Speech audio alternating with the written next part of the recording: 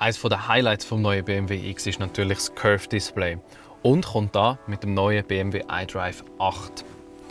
Auch da voll Touchscreen und jenste Individualisierungsmöglichkeiten.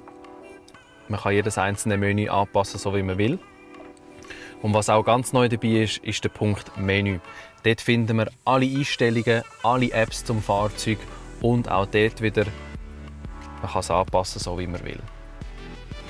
Und wenn wir schon bei Individualisierung sind, das Driver-Display lässt sich jetzt komplett neu gestalten.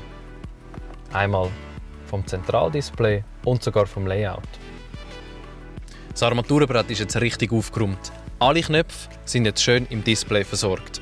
Darum zum Beispiel auch für Klimatisierung. Und dann kommen wir direkt zu den ganzen Einstellungen für Klimatisierung.